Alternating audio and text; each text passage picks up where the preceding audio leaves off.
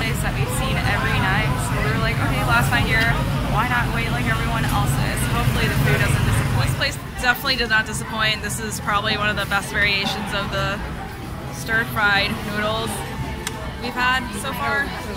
Beef with vegetables, fried shrimp, that's our neighbor's vegetable. The mango juice could be a little bit better, but still, this is so Let's guess where we're at. Last night, going out with a bang. Very calm about this, but it's really hurting. Time to zoom in. Watch it happen, guys.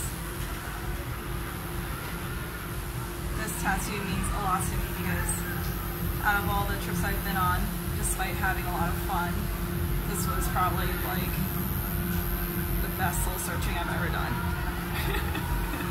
Over a lot of Chang beers and sing of course. And go-go dancers.